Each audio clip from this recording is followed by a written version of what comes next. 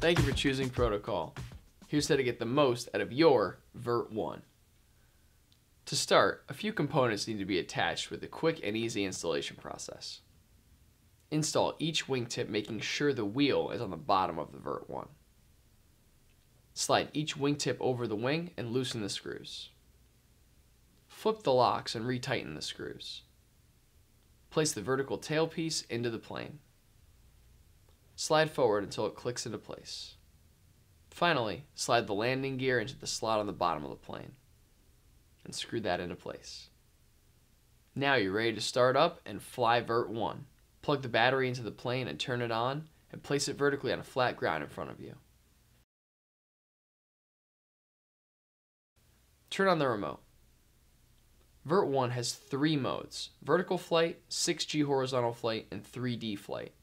This is your first time using Vert 1, start with vertical flight. Push the throttle up and then down to sync.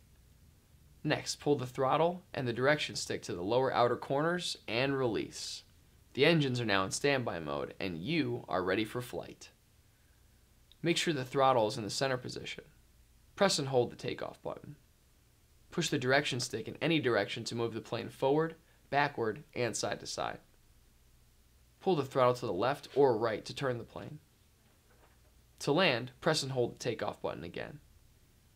To fly horizontally, switch to 6G after turning on the remote.